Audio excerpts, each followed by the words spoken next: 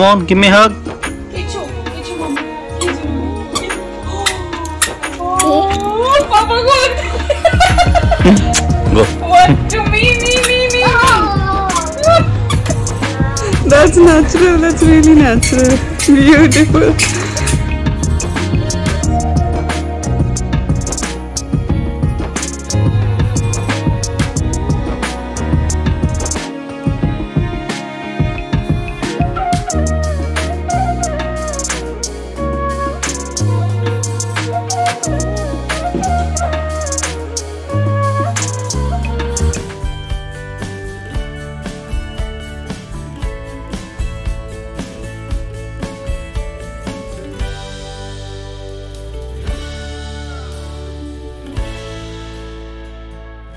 Hi everyone, Namaskar, Salam, Sat Sri Akal. Welcome back to Deep All in One channel. I hope you all are doing really well.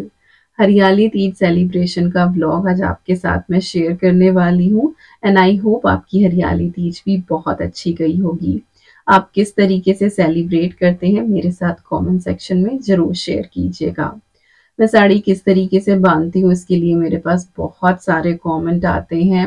And I am still not very comfortable coming in front of camera with just blouse and petticoat and showing every bit but still manage to record little clips जिससे आपको अंदाज़ा हो जाएगा कि मैंने किस तरीके से साड़ी बांधी है।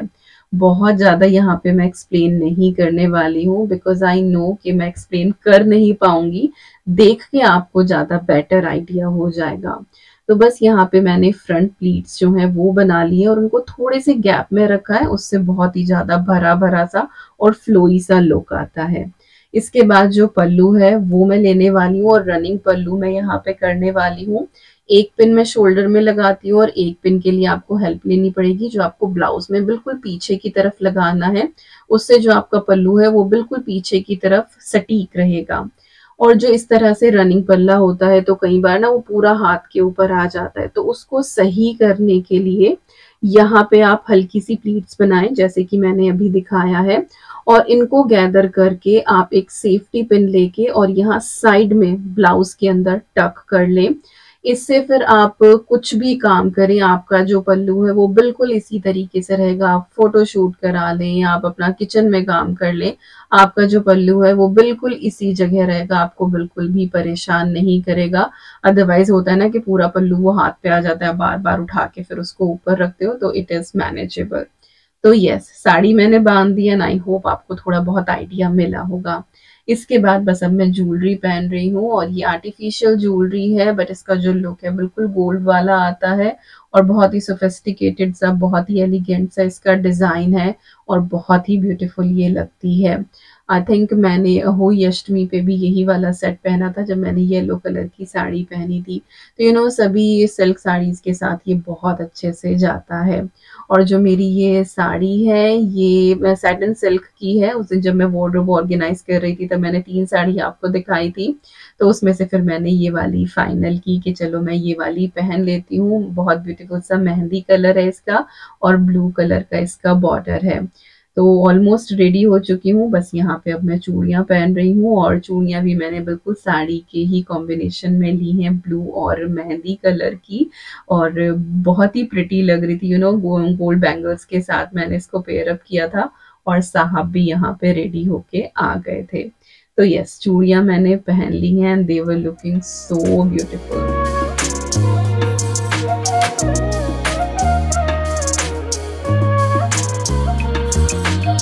तो चलिए, बस थोड़ा सा टचअप बाकी है और टचअप करने के लिए आज मैं यूज़ करने वाली हूँ अपने नए ब्रशेस आपको पता होगा मेरा भी बर्थडे था तो ये मेरा एक बर्थडे गिफ्ट है और बहुत ही अफोर्डेबल रेंज के ये मेकअप ब्रशेज हैं। 15 पीसेस का ये सेट है और इसके जो ब्रिसल्स हैं, वो बहुत सॉफ्ट हैं।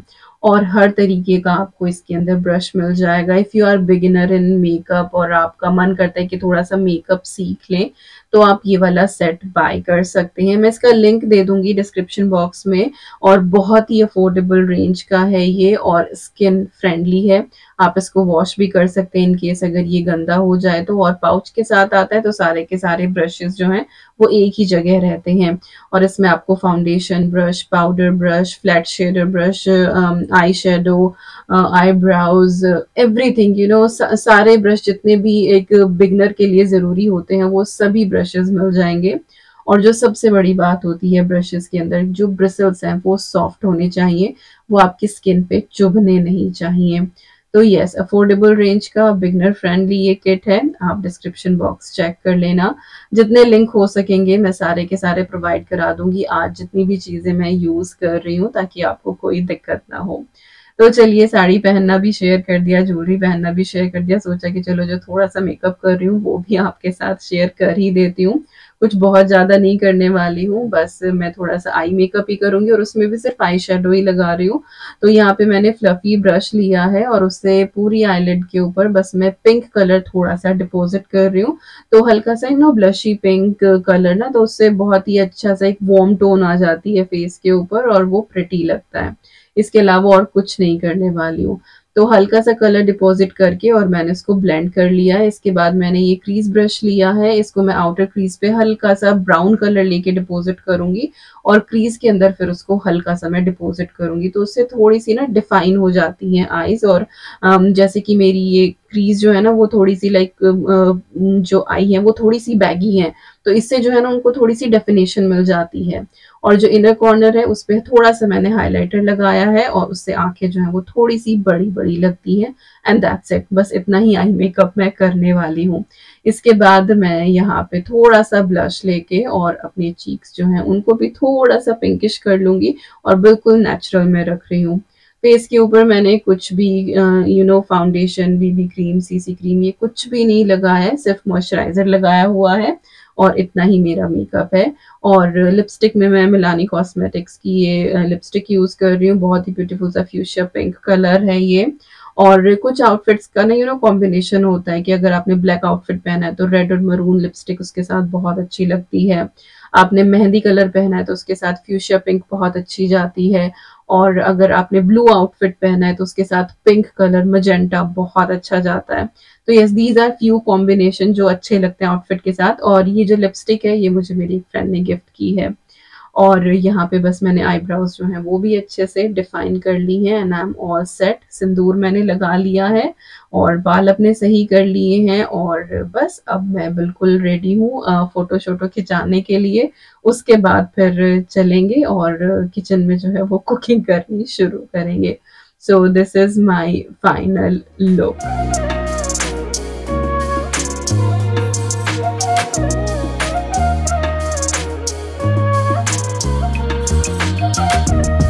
और जब इस तरीके से तैयार हो जाए तो फिर अच्छी सी वीडियो फ़ोटोज़ ये सब कराने तो बनते ही हैं। And my husband is always very helpful in these things he always comes और बहुत अच्छी अच्छी जो है वो फ़ोटोज़ मेरी लेते हैं वीडियो लेते हैं। और मैंने रील भी डाली है इंस्टाग्राम पे। अगर आपने नहीं देखी है तो आप चेकआउट कर सकते हैं। वहाँ पे फॉलो भी कर सकते हैं। साड़ी का जो लिंक है, वो मैं डिस्क्रिप्शन बॉक्स में डाल दूँगी। इन केस आपको ये साड़ी पसंद आ रही है तो आप ले सकते हैं। फेस्टिवल सीज़न जो है, वो शुरू होने ही वाला है तो अब तो किसी ना किसी त्योहार पे जो है, वो साड़ी पहनी ही जाएगी। ब्यूटीफुल सेटन सिल्क की ये सिया फ़ैशन की साड़ी है, और बहुत मैनेजेबल है, और बहुत एलिगेंट है।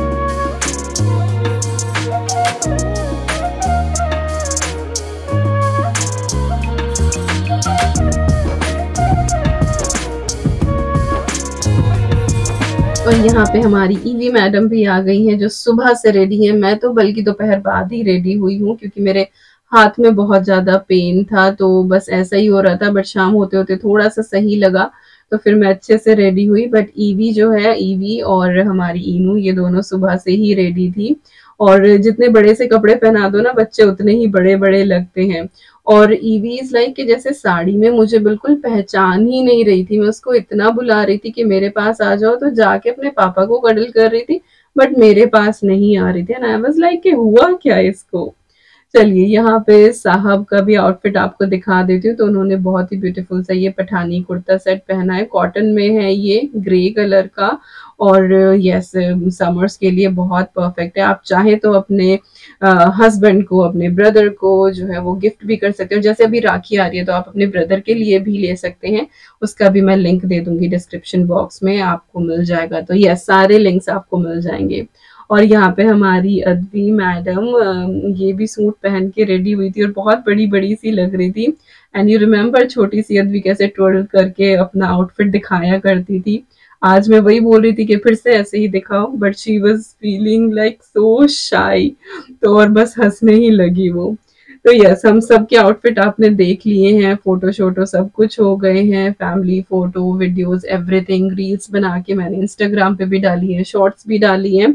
तो शॉर्ट्स वीडियो भी देख लिया करो और इंस्टाग्राम पे फॉलो करना चाहो तो वहाँ भी देख सकते हो, क्योंकि वहाँ पे मैं बहुत सारे फ़ोटोज़ और लाइफ अपडेट्स शेयर करती रहती हूँ। और बस अब फाइनली आ गई हूँ मैं किचन में मोर्चा संभालने। अब खाना बनाएँगे, कुछ तैयारी जो है वो मैंने पहले से कर ली थी दिन में तो वो भी अभी आपको दिखा रही हूँ। तो यहाँ पे लगभग एक लीटर के करीब ये दूध है और ये लेमन जूस डाल के मैं इसका छेना बनाने वाली हूँ। आप चाहें तो इसकी प्लेस पे विनेगर भी ले सकते हैं। तो दूध को बॉईल करना है फ्लेम ऑफ़ करनी है, उसके बाद उसमें नींबू डालना है और चम्मच से चला के देखना है। अगर बिल्कुल पानी सेपरेट हो रहा है तो इनफ है, नहीं तो एक दो बूंद आप इसके अंदर और डाल लें। बट मेक श्योर कि फ्लेम आप ऑफ़ करें, उसके बाद आप ये वाला प्रोसेस करें। और बस इसको फिर छान लेना है जितना हो सके इसका पानी आप निकाल दें और हाँ इसको वॉश ज़रूर कर लें, क्योंकि कई बार नींबू की जो है ना, वो टेस्ट और खुशबू इसके अंदर रह जाता है। तो पानी से अच्छे से इसको वॉश करें और उसके बाद इसको निचोड़ने के लिए रख दें। और साथ ही मैंने एक कप के करीब उड़द की दाल जो है, वो भी सोख कर दी है तो इसकी मैं बेड़ई बनाने वाली हूँ। तो ये दो चीज़ें जो हैं, वो मैंने दिन में ही करके रख दी थी। अब जो है वो बस शाम में आ जाते हैं और अब बनाना शुरू करते हैं। तो यहाँ पे मैं शुगर सिरप बना रही हूँ और मैं चमचम बनाने वाली थी। यहाँ पे जो है मैंने दो कप चीनी ली है, जिसके अंदर मैंने चार कप पानी डाला है। इसको हम अच्छे से उबलने देते हैं। इसके बाद जो छेना हमने बनाया था, जिसका पानी अच्छे से निकल गया है उसको अब हमें अच्छे से हाथ से मथना होता है। और मैं पहले ही बता दूँ, ये वाली जो रेसिपी है, ये मेरी नहीं है और मैं बहुत पछताई हूँ कि मैं अपनी ही रेसिपी अगर शेयर करती तो रिज़ल्ट ज़्यादा अच्छे आते क्योंकि इसके रिज़ल्ट मुझे बिल्कुल भी पसंद नहीं है ये मैंने टिकटॉक पे देखी थी और मैं बहुत पछताई कि मैंने क्यों ये बनाया। बट ये कि रिकॉर्ड किया था तो आपके साथ मैं शेयर कर रही हूँ और शायद आपको भी अंदाज़ा हो जाए कि बनाना है या नहीं बनाना है। तो यहाँ पे एक कप के करीब ये छेना था जिसके अंदर एक टेबल स्पून मैंने सूजी डाली है और इस तरह से ब्लेंडर में डाल के मैंने इसको थोड़ा सा पल्स किया है। इससे जो है वो मथने वाला जो प्रोसेस होता है हाथ से वो कम हो जाता है। बट जो ये सूजी इसके अंदर डली है ना, एक टेबल स्पून लाइक एक कप छेना में एक टेबल स्पून जो ये सूजी गई है आई थिंक इसने काम थोड़ा सा खराब किया है क्योंकि ये इतने स्पंजी चमचम नहीं बन पाई। ये थोड़ी सी डेंस बनी है। ट्राई करके देख लेना, क्या पता आपकी अच्छी बन जाए। मेरी तो like I was not satisfied हालाँकि साहब को और अदवी को सही लगी है बट क्योंकि मैंने पहले बनाई हुई है तो मेरे लिए ये वो परफेक्ट वाली नहीं थी। तो अपने रिस्क पे आप ट्राई कर सकते हैं। मेरी तरफ़ से यही बोलूँगी कि ना ही करो तो अच्छा है। बट हाँ जो मेरी अपनी रेसिपी है, वो मैं बहुत जल्दी शेयर करूँगी क्योंकि मन था बहुत बनाने का, साहब का भी खाने का मन था बट जब चीज़ अच्छी नहीं बनती है तो फिर ना वो मज़ा नहीं आता है। तो जैसी मुझे खिलानी थी मैं ऐसी खिला नहीं पाई। मेरा तो खैर फास्ट चल रहा है, मैं तो कुछ भी नहीं खा रही हूँ। आई एम जस्ट ऑन फलाहार। बट यस yes, uh, मुझे खिलाने का बहुत ज़्यादा शौक है तो मैं जैसा मुझे खिलाना था मैं खिला नहीं पाई।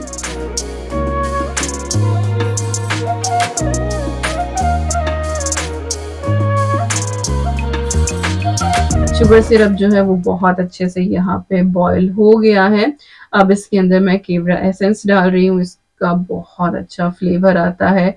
और चमचम, रसगुल्ला या रसमलाई आप बना रहे हैं तो उसमें ये काइंड ऑफ़ मस्ट ही रहता है। यहाँ तक सारी चीज़ें जो है ना, वो बिल्कुल ठीक ठीक चल रही थी and I was so hopeful कि ये बहुत अच्छी बनने वाली है। तो एक एक करके आपको ये बॉल्स इसके अंदर डालनी है। मेक श्योर sure कि जो पानी है या हमारी जो ये शुगर सिरप है, इसके अंदर बॉयल आता रहे। एक बार भी इसका जो टेम्परेचर है, वो ड्रॉप नहीं होना चाहिए। इसमें लगातार बॉयल आते रहना चाहिए। और इस पॉइंट में मैं डाल रही थी ना तो ये थोड़ी थोड़ी सी फूलने भी लगी थी। इसके बाद आपको प्रेशर कुकर की लिड लगानी है और इसका जो प्रेशर है वो मेंटेन रखना है। इसमें सीटी नहीं आनी चाहिए और इसका ये सर्टेन लेवल पे प्रेशर रहना चाहिए। और मैंने पूरी पूरी कोशिश करी कि बस वो उबलती ही रहें। बट खैर, आप देखेंगे ये आगे के क्या हुआ। तो उसको हमने उबलते छोड़ दिया है। दस मिनट का उसको प्रेशर देना था। मीन वेल यहाँ पे बेड़ई की तैयारी कर लेते हैं। तो दाल जो है हमारी वो बहुत अच्छे से सोख हो गई थी और इसको अब मैंने इस तरह से चॉपर में डाल दिया। अब ग्राइंडर में डाल लें। थोड़ा सा फ्लेवर इसको देने के लिए मैं यहाँ पे कुछ एक्स्ट्रा चीज़ें यूज़ करूँगी। पहले मैंने थोड़ा सा पानी डाल के दाल को अच्छे से ब्लेंड कर लिया है।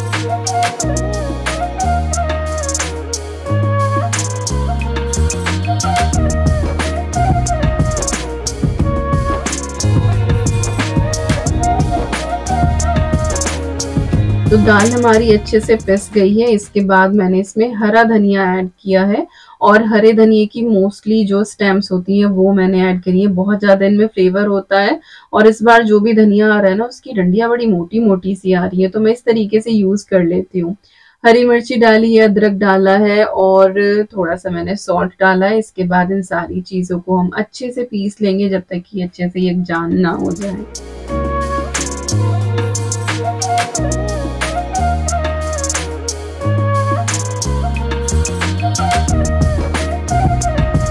तो ये देखिए, हरे धनिए ने अपना पानी रिलीज़ किया है और बहुत ही अच्छे से हमारी जो ये दाल है फ्लेवरफुल वो तैयार हो गई है। यू you नो know, आप चाहें तो इसके ना दही बड़े भी तैयार कर सकते हैं। फ्लेवर वाले बहुत ही मज़े के बनते हैं।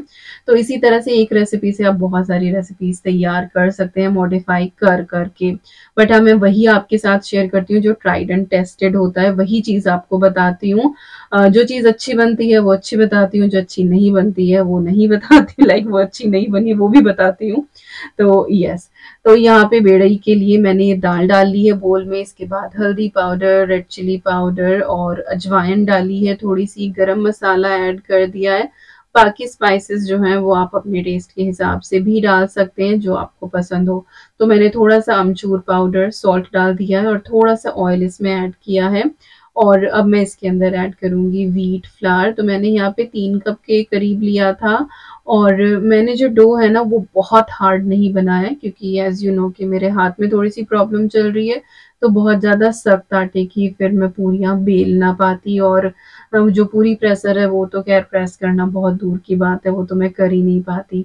तो आप यहाँ पे साढ़े तीन कप से लेके चार कप तक आटा जो है वो इसमें ऐड कर सकते हैं और एक कप हमारी दाल थी।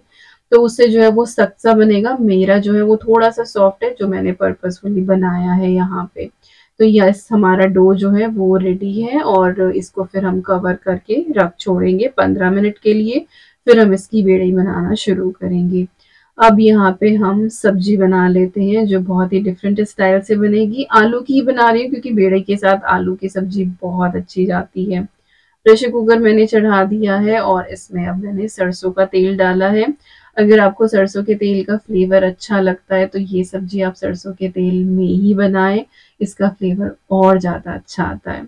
तो अच्छे से ऑयल गर्म हो गया है। इसमें फिर मैंने एक चम्मच जीरा ऐड किया है और इसके बाद हम हल्दी डालेंगे बिल्कुल थोड़ी सी और इसके बाद मैंने यहाँ पे तीन टमाटर की जो प्योरे है, थोड़ी सी हरी मिर्ची और अदरक डाल के बना ली थी, वो मैंने ऐड कर दी है। अब हम इसको अच्छे से पका लेंगे जब तक कि इसका ऑयल सेपरेट ना हो जाए। और मीनवाइल हम एक दही का मसाला बना के रेडी करेंगे। तो एक कप मैंने यहाँ पे रूम टेम्परेचर की दही ली है। इसमें मैंने एक चम्मच धनिया डाल दिया है थोड़ा सा हल्दी पाउडर ऐड किया है। रेड चिली पाउडर हम इसके अंदर डाल देंगे और इसके बाद हम इसमें ऐड करेंगे थोड़ा सा गरम मसाला और साथ ही जाएगा थोड़ा सा अमचूर। अमचूर ऐड करने से ना दही जो है वो फटती नहीं है, फिर जब आप ग्रेवी में डालते हैं।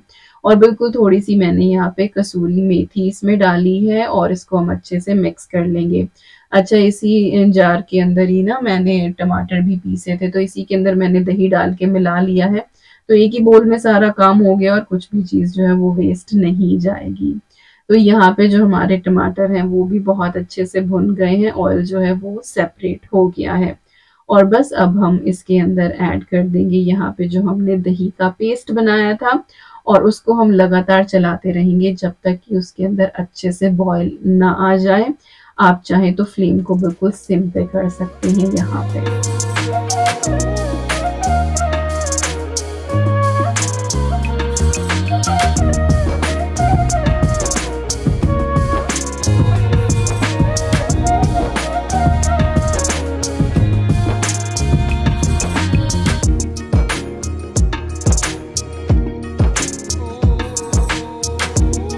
तो दही टमाटर का मसाला हमारा हो गया है रेडी इसमें अच्छे से बॉयल आ गया है और ऑयल इसका सेपरेट होना शुरू हो गया था। इसके बाद जो जार था उसमें मैंने थोड़ा सा पानी डाल के उसको रंस करके और इसके अंदर ऐड कर दिया है। कुछ भी चीज़ जो है वो वेस्ट नहीं होनी चाहिए। और कंसिस्टेंसी जो है वो आप अपने हिसाब से एडजस्ट कर सकते हैं। सॉल्ट डाल दिया है टेस्ट के हिसाब से और अब इसके अंदर जाएँगे बेबी पटेटोस और ये कॉस्को से लेकर आए थे पैकेट और इनकी जो स्किन है ना वो बहुत पतली सी है तो इनको बहुत अच्छे से वॉश कर लिया था ब्रश से रगड़ के और इनको स्किन के साथ ही मैं ऐड कर रही हूँ यहाँ पे और बॉइल्ड नहीं है, ये रॉ ही है। अब यहाँ पे ये प्रेशर कुक हो जाएँगे। तो मैंने बेबी पटेटोज इसमें ऐड कर दिए हैं। अंदाजे से ही डाले हैं यहाँ पे और इसके बाद बस अब हम इसको प्रेशर कुक कर लेंगे। दो से तीन विसल में ये डन हो जाते हैं।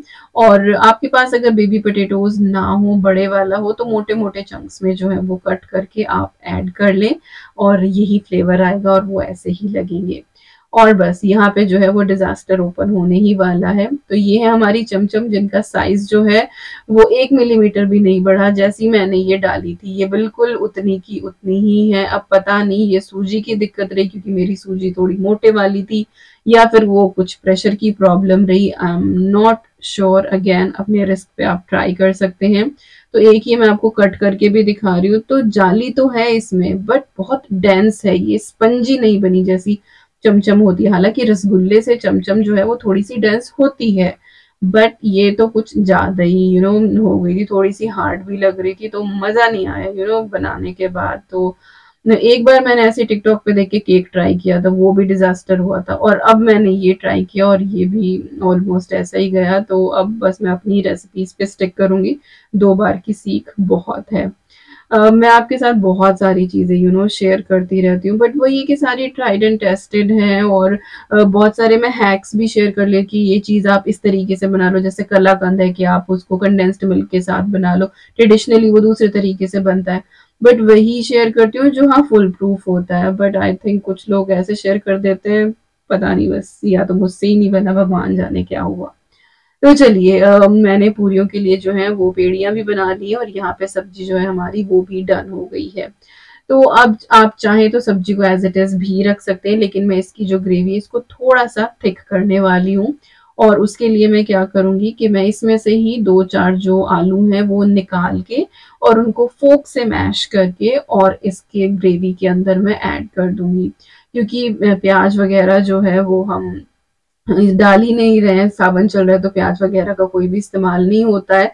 टमाटर भी मैंने कम डाले हैं क्योंकि इस रेसिपी में दही भी जाती है तो फिर वो बहुत ज़्यादा खट्टी हो जाती है सब्ज़ी। तो फ्लेवर जो है वो बैलेंस्ड रहे और उसमें उसी सब्ज़ी का टेस्ट आना चाहिए। तो बस यहाँ पे आलू जो है वो मैंने मैश करके ऐड कर दिया और बिल्कुल थिक सी ग्रेवी वाली हमारी आलू की सब्ज़ी तैयार हो गई है। और बस अब यहाँ पे पूरियाँ जो है वो हम फ्राई करना शुरू करेंगे। तो मैं बेल रही हूँ और साहब जो है वो यहाँ पे उनको फ्राई कर रहे हैं। तो टीम वर्क एक साथ काम करते हैं तो काम जो है वो जल्दी निबट ही जाता है। बच्चे अपना खेल रहे हैं टीवी चल रहा है उनका। जब हम दोनों इस तरह से साथ मिलके किचन में कुछ कर रहे होते हैं या कोई फर्नीचर बना रहे होते हैं, यही होता है हमारा टीम वर्क तो बच्चे जो है वो उनको टीवी चला के देना ही पड़ता है।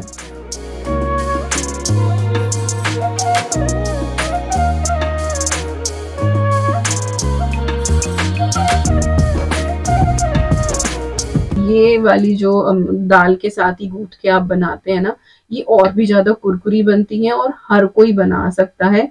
फ्लेवर आपको वही आता है। हाँ कचौरी से तो कंपैरिजन नहीं कर सकते बट स्टिल ये बहुत कुरकुरी और बहुत ही ज़्यादा ये टेस्टी बनती है तो आप ट्राई ज़रूर कीजिएगा। राखी पे आप ये वाला मेन्यू जो है ना, वो ट्राई कर सकते हैं।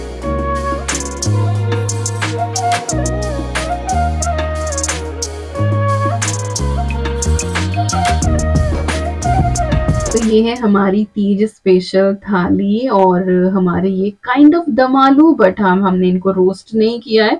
आलू की सब्ज़ी है दही वाली और ये चमचम थाली में तो मैंने, खैर, ये रख ही दिए थे। इसके साथ ये मिंट वाला रायता बना लिया था सैलेड कट कर दी थी और साथ में है यहाँ पे हमारी बेड़ई, जो बहुत कुरकुरी और बहुत ही ज़्यादा ये टेस्टी बनी थी। अगेन आप ट्राई ज़रूर करना। अच्छा उड़द की दाल के अलावा आप मूंग की दाल से भी और चने की दाल से भी इनको बना सकते हैं तो डिफरेंट फ्लेवर आ जाएगा और बहुत ही टेस्टी बनती है। और अगर बहुत सख्त आटा होना तो ये और भी ज़्यादा कुरकुरी बनती है।